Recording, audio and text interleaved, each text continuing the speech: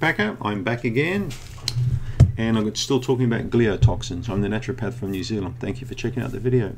So what causes gliotoxin? Well, gliotoxins are caused by candida. They produce these toxins, like they, they're mycotoxins, so they're made by candida. So the more candida levels you build up in the body, the higher the gliotoxin level. Now, gliotoxin won't always necessarily affect you until it reaches a set level.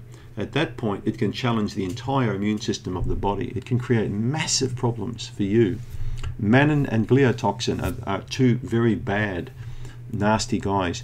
You can check out yeastinfection.org. You can read my article on it, which is linked to multiple scientific studies to show you that I'm not just pulling this out of thin air somewhere, okay? So I've studied gliotoxin for a while now, long before people even knew what the word was in the Candida community, and started warning people about it. And uh, when my book was published, I started to notice that in various other websites, Candida websites, it was popping up here or there. But it's been around a while. Um, yeah, check it out, gliotoxin. Thanks for tuning in.